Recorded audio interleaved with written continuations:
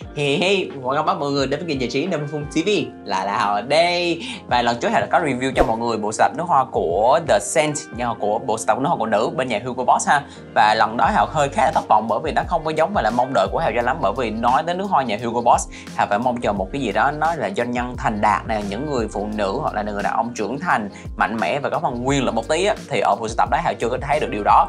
Nên cuối cùng hôm nay Hào đã tìm thấy một cái bộ sưu tập, một cái line nước hoa khác trong nhà Hugo của Boss luôn nhưng mà thể hiện được đúng cái phong thái mà Hào định tìm kiếm ha. Nên vô công chuyện thôi. Let's go!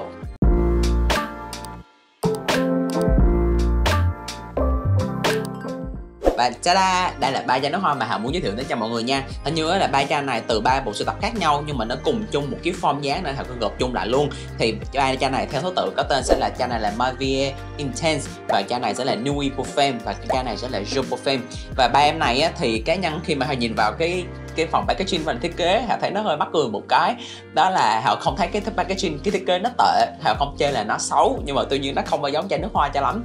Nhưng mà khi nhìn vào họ cảm giác đây là một cái chai serum hoặc là một cái chai kem dưỡng để mà kiểu skin care dưỡng body đủ á cho Hào Hào không có liên tưởng tới. Đây sẽ là một chai nước hoa. Nhưng mà cái Hào thấy cái chất chai nó cũng đẹp nói chung là khá ổn ha. Và nói về phần mùi hương á thì ba em này vẫn theo một cái tông mùi đó là mùi floral hương hoa là chính. Và nó cũng giống như ở bên kia đó là mùi ở phiên bản The Scent đó là sử dụng đó là tông floral và trái cây fruity luôn. Nhưng mà bên em này hào cảm giác nó thể hiện được cái thân cái thần thái đó là gọi là uh, mature nè trưởng thành nè đứng đắn và có phần hơi uh, sang trọng và quý phái hơn so với phiên bản The Sand. The Sand thì nó quá dễ thương. Đó thì vào thẳng câu chuyện luôn dễ hiểu nhất và ngắn gọn nhất thì ba em này ba tông mùi floral nhưng mà mỗi màu mỗi chai sẽ tượng trưng cho một màu sắc và thần thái khác nhau và những loại hoa khác nhau luôn. Chẳng hạn đầu tiên mình chỉ có cái chai Merve Intense thì em này sẽ là một cái một mùi hương hoa tổng hợp. Đi kèm là một cái mùi trái cây của như là đào nè hoặc là kiểu như là những cái mùi ngọt ngọt một xíu.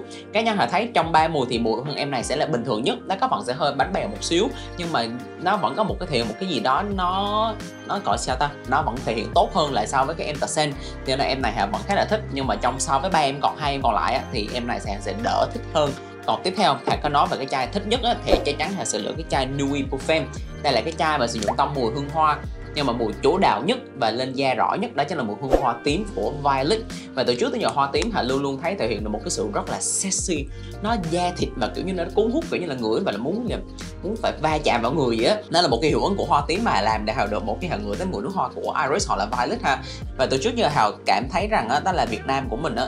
Khi mà nhắc tới nước hoa gọi là sexy và quyến rũ thì nhiều chị em sẽ cho rằng là chỉ có nước hoa mùi ngọt hoặc là mùi ấm thì mới đạt được cái điều đó mà mới thể hiện được cái sự gọi là sexy và cuốn hút và có phần là có thể nói là mùi dâm dâm chẳng hạn mùi nó hơi dâm một tí thì chỉ có mùi ngọt thôi. Đó là tùy cảm nhận của mỗi người thôi nhưng mà riêng cảm nhận của hào á, thì hương hoa nó không chỉ là thể hiện ở sự nửa tính hoặc là sự trong trắng mà đôi lúc nó có những cái sự cuốn hút á làm người mình phải phải gọi là phải sát lại gần nhau á và điều đó được thể hiện ở chính cái nước hương hoa tím iris và mùi violet nữa. Nhưng mà đang tiếc trong này không có iris chứ có iris nữa hào nghĩ nó còn cháy hơn nữa luôn á.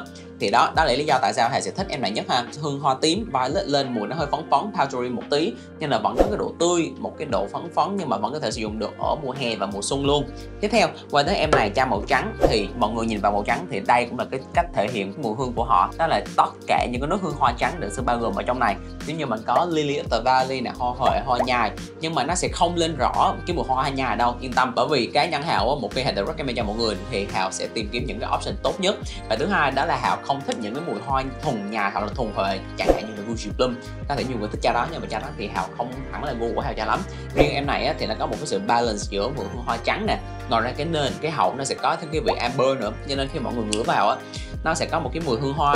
Nó tươi ở cái phần đầu khi mọi người mới xịt ra nhưng mà ngửi kỹ và ngửi ngon lại á, thì nó có một cái mùi nó hơi creamy nó hơi béo béo nhẹ nhẹ thôi đến từ hổ phách này và là một cái mùi Burch nói chung là cả ba em này họ đều thấy thể hiện được cái phong thái đó là mùi sang trọng, những cái mùi hương mà đó là những cái quý cô đi làm văn phòng công sở từ 35 30 tuổi trở lên sử dụng được. Thể hiện là một người phụ nữ có gu nè thì diện là những cái trang phục rất là sang trọng và đi kèm những cái mùi hương đó nó cũng phải thể hiện được cái sự sang trọng và quý phái đó. Chứ nó không phải là dừng lại cái mức là mọi người sử dụng những cái tông mùi những mùi hương hoa tổng hợp là mùi trái cây nhẹ nhàng thì nó dừng ở mức gọi là dễ thương và cute và nó hơi tiên girl một tí xíu thôi. Còn riêng em này thì Hà nghĩ rất là phù hợp đối với các dân uh, các chị em văn phòng công sở để thì một cái sự chuyên nghiệp nè mà ngoài ra mà có những cái độ sexy nhất định nữa ha. Ok và vừa rồi là cảm nghĩ của Hà về ba chai nước hoa của nhà Hugo Boss này ha. Và những ai quan tâm như sản phẩm này á, thì mọi người hãy biết Hào để đường link ở đâu rồi nha.